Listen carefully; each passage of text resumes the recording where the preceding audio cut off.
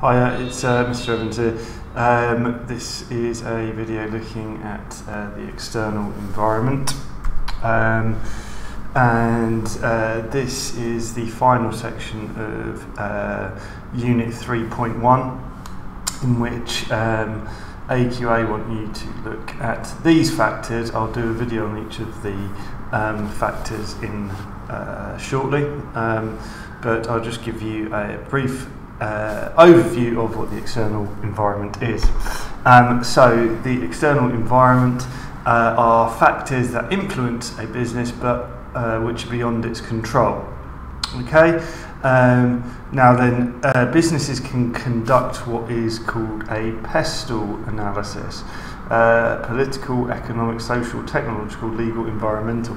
All of these are factors that will have an impact on a business um, and yet are beyond its control. So, regardless of how big uh, Tesco is as an organisation, there's really very little that they can do to influence the economic environment, and yet the economic environment will have a huge impact on uh, any organisation.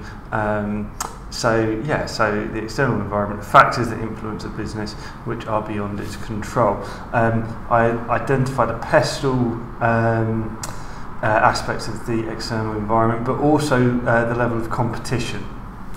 Okay, the level of competition in the market. Uh, it's not um, necessarily.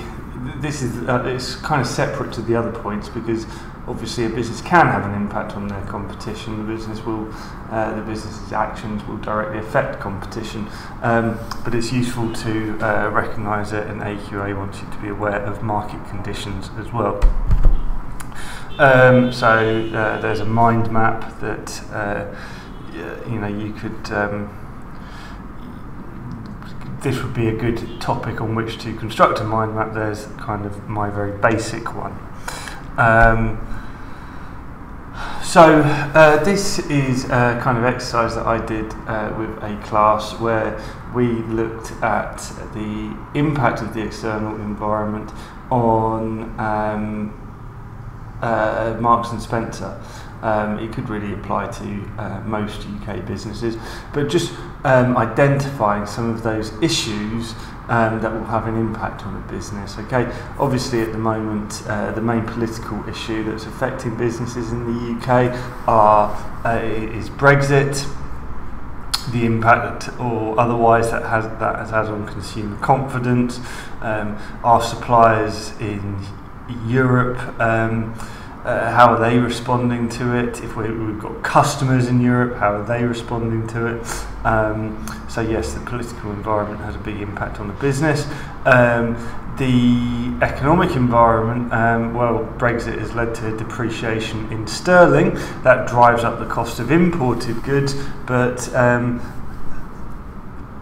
you know, it, it can uh, weaken the price of exports. Exports become relatively cheaper for our consumers who are buying them abroad. So um, that might have an impact on a business depending on whether it imports or exports or, or, or does both. Um, uh, interest rates were recently covered to 0.25, recently cut to 0.25%. I'll cover that later on. Um, you know, social trends in the UK, uh, more awareness of healthy eating, the average age of the population increasing.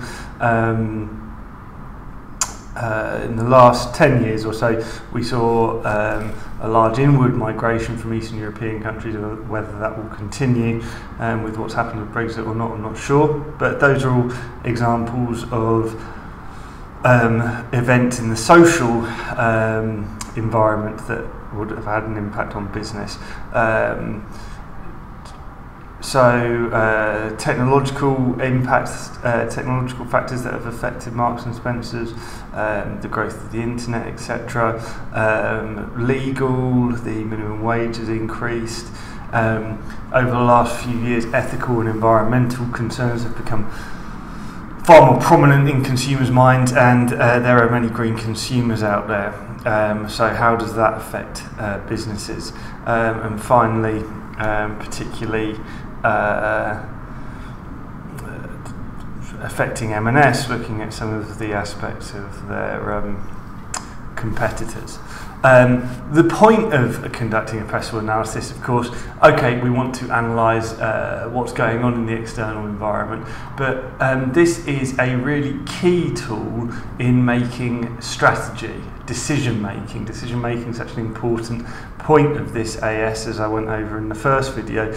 Um, uh, the point of conducting a PESTLE analysis is to enable you to make decisions.